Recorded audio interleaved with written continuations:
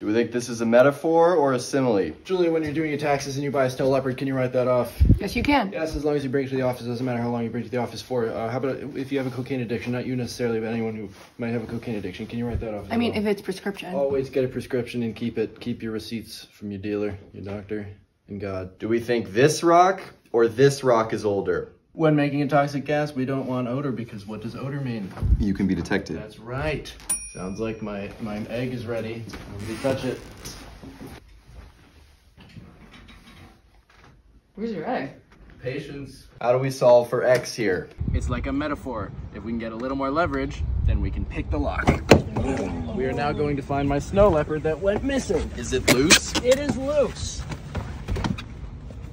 Found him. Still loose.